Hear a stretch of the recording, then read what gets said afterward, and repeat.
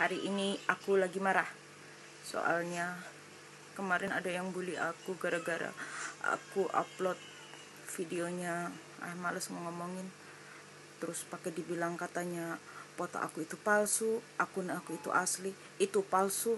Udah itu akun aku itu dari 2000 sebenarnya 2010 cuma aku ganti jadi 2011 itu semuanya asli. Aku nggak pernah namanya pakai palsu-palsu.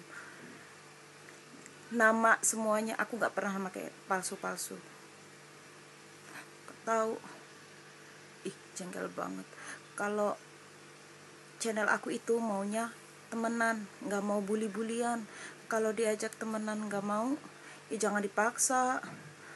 Orang cuman mau komen minta nomor ya buat apa? Udah males